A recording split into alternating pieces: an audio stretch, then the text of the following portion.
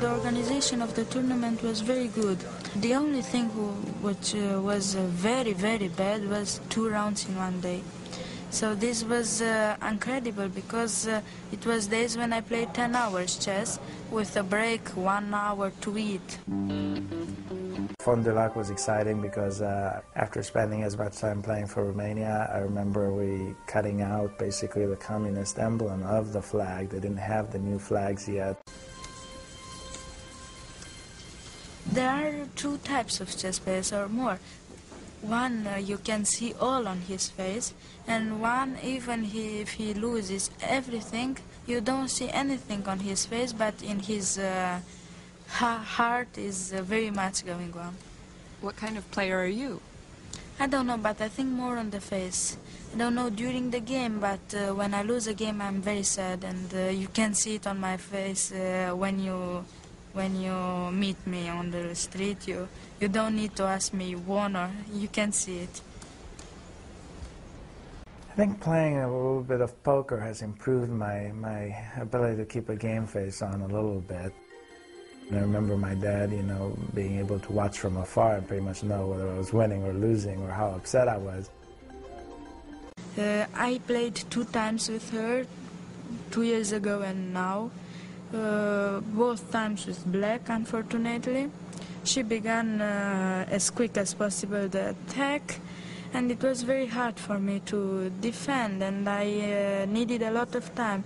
But then uh, later, I think she made a mistake. I'm sure she made a mistake, and so from the attack, in the game uh, two years ago, I've got in a winning position, but I had about three minutes for 25 moves, and uh, I accepted draw.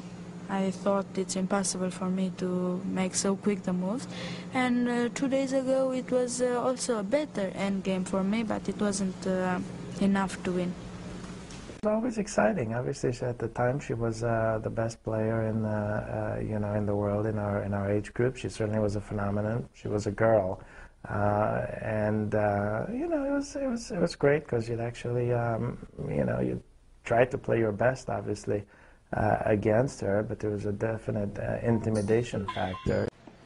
I kid my dad all the time that he taught me the wrong game. You know, had I become as good at golf as I did at chess, I would be, you know, set financially for the rest of my life and and uh, uh, be enjoying it. Or many other sports where, of course, the financial reward is, is, is much higher than than in chess. So that part of it kind of, you know, stinks. I kept playing competitively for for for many years. Uh, when I was 17, I became a grandmaster. I was at that time I was the youngest grandmaster in the world, not in the history, but just at that time I happened to be the youngest because Judith was actually three months three months older, I think, to the day. The grandmaster title is the highest title that you can achieve in chess. Some people compare it to a PhD. You know, it's a lot of work to get there, and you feel really good once you get that title, particularly since you can never lose it. I won the U.S. Open in, in 96, so I was 20, uh, 20 years old at the time, and I think I was the second youngest uh, winner of the U.S. Open at the time in the history after Bobby Fischer. Um, when I graduated college and went to work, that's when, when chess definitely suffered. I mean, uh, it's, it's a tough game to play competitively, professionally, at a grandmaster level while also working.